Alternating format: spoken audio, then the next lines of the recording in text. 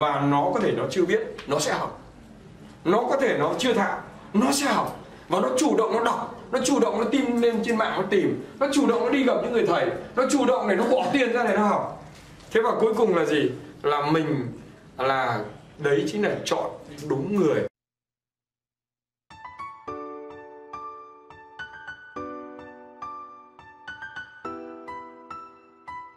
Em giới thiệu cho em là Hùng hiện tại cũng đang phụ trách một ờ, doanh nghiệp ở trong Covid thì ờ, trong cái quá trình mà lựa chọn cái ờ, người để mà đồng hành cùng với mình hoặc là để mà mình trao cái cái sự tin tưởng ấy, thì thầy có cái tiêu chí gì để thầy có thể lựa chọn ra những cái bạn mà để thầy có thể tin tưởng để gửi gắm cái trách nhiệm phát triển doanh nghiệp sau này không?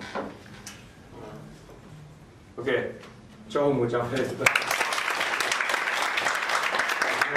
trong quá trình mà bọn mình làm công việc ấy, thì mình hay nói về vấn đề nguyên tắc là gieo và gặt.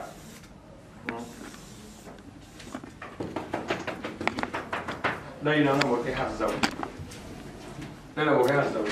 Và bạn muốn để cho cái hạt giống này trở thành một cái cây của bạn đó và mong muốn của bạn là cuối cùng là bạn có một cái cây.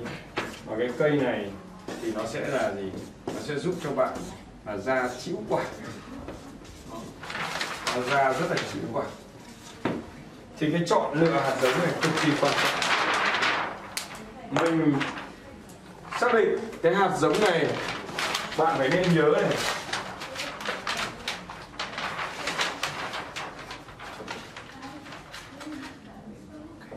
Bọn mình chọn những cái người, điều đầu tiên bọn mình chọn, nó bao giờ là cũng phụ thuộc vào cái gì?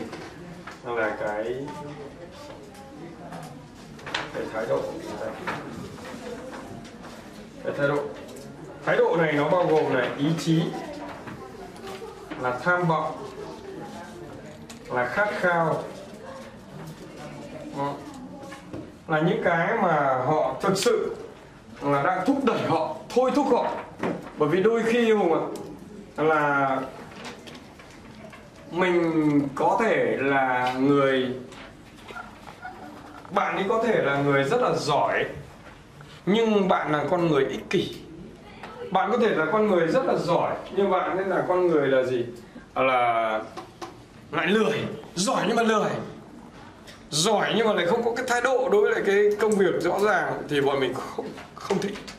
Không thích cái bọn này. Bởi vì khi mà người ta có một cái thái độ rõ ràng có một cái ý chí có một tham vọng có một khát khao cho nên trong quá trình bọn mình phỏng vấn ấy, mình rất là quan tâm tới vấn đề là bạn muốn gì? Bạn khát khao điều gì? Bạn có cái cái gì mà bạn đang rất là tâm huyết cho cái cuộc đời của bạn? Và mình rất xoáy sâu vào cái việc phỏng vấn cái người đó ở đâu thế và đây chính là cái quyết định để cho người ta tự thôi thúc người ta. Người ta có một cái động lực để đẩy người ta đi lên. Chứ người ta không phải là kiểu dạng là cứ máy mới giật trong câu cá, ở đây ai ai đã từng câu cá nhỉ? Vâng tuyệt vời quá ok. Những người câu cá thì biết rồi. Nhiều khi là chúng ta câu cá thì có khi là cứ máy mới giật đúng không? Nhưng mà trong sử dụng nhân sự thì lại không được như vậy. Mày bây giờ cứ vỗ nó thì nó mới chạy. Cứ thúc nó nó mới chạy. Chứ mà có nhiều thằng bạn bạn không cần thúc. Nó cứ thế nó mẹ nó lao vào nó làm. Nó cứ thế nó, nó nhảy vào nó làm và nó làm. Nó làm mình cảm thấy nó không khác gì mình. Đấy mới là cái người tuyệt vời chính cái người đấy và nó có thể nó chưa biết nó sẽ học.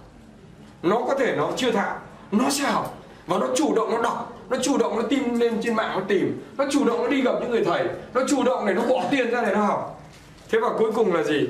Là mình là đấy chính là chọn đúng người. Tức là chọn đúng người mình vẫn ví là giống như là là chọn là, là bơi xuôi dòng.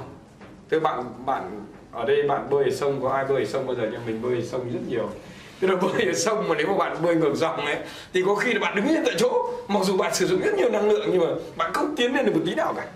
Nhưng mà bạn bơi xuôi dòng khi bạn chỉ cần thả người thôi. Thế là nó cứ đẩy bạn đi.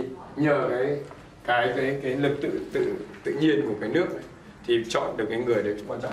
Thế sau đó sau cái chọn cái đấy rồi đúng không? Tất nhiên đi đôi với cái này là mình rất quan tâm tới vấn đề là gì? Là con người giá trị đạo đức. Cực kỳ quan trọng bởi vì đối với bọn mình ấy, thì giá trị gì? Trung thực. Trung thực. Rồi uh, giá trị uh, tức là uh, con người ta phải trung thực. Con người ta phải là liêm khiết.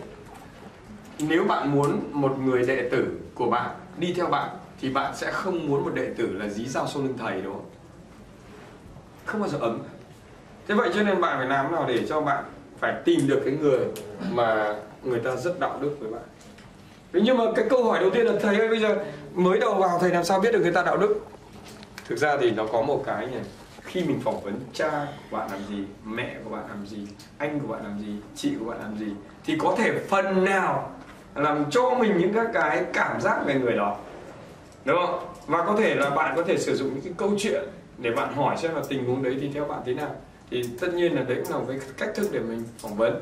Nhưng mà có thể bằng cái trực quan và thông thường người ta nó nói điều này, trong kinh thánh có dạy là nếu bạn nghĩ điều gì thì ánh mắt, nụ cười, biểu cảm và các hành vi cơ thể nó sẽ biểu cảm những cái điều bạn suy nghĩ. Trên người trung thực ấy, người trung thực là những người từ ánh mắt người ta là rất là nhìn thẳng và tĩnh, đúng không? Chứ không phải là mắt la mày ném này, đúng không? Và các cái cách thức biểu cảm của ngôn ngữ cơ thể của người ta cũng rất là chắc chắn. Thì cái đấy nó phải được cảm được và thông qua thời gian có thể là hùng sau một thời gian hùng phỏng vấn nhiều mới lại quản trị nhiều hùng cũng sẽ nhận ra được đấy. Và bạn phải trải nghiệm thôi. Còn nếu thằng nào thằng nào mà vào tập đoàn mình mà không trung thực thì sau một thời gian bọn mình phát hiện ra là bọn mình đã đít ngay một là mày phải thay đổi. Hai là mày ra khỏi cái ngôi thuyền uh, con thuyền ta mời mày xuống thuyền.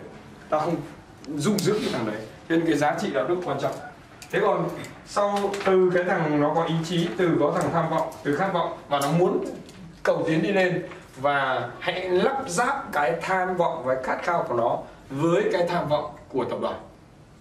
Hãy nhớ nhé, lắp ráp cái tham vọng của nó với cái tham vọng của tập đoàn. Vậy cho nên bạn phải coaching cho nó. Bạn phải ngồi lắng nghe, bạn phải tìm hiểu, bạn phải quan tâm để xem là em muốn gì? Ba năm nữa em ra sao? Và em sẽ như thế nào? Thế sau đó thì từ đấy thì lắp ghép để nó trở thành một mảnh ghép của bức tranh go để nó thành một cái bức tranh go đúng không? Vậy nên là phải quan tâm tới người ta. Để chính vì thế cho nên họ sẽ gì? Rất chăm chỉ. Họ rất lăn xả. Họ là coi công ty không khác gì của mình.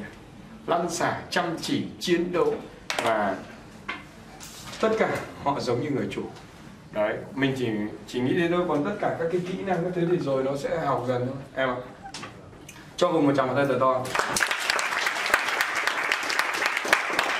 bao nhiêu trong số các anh chị đây đã học được những cái bài học để mình có thể xây dựng được một cái công ty bền vững giơ tay vào đó thôi. Rồi. Chúc uh, các bạn sẽ xây dựng được cái đế chế kinh doanh bền vững. Thank you các bạn.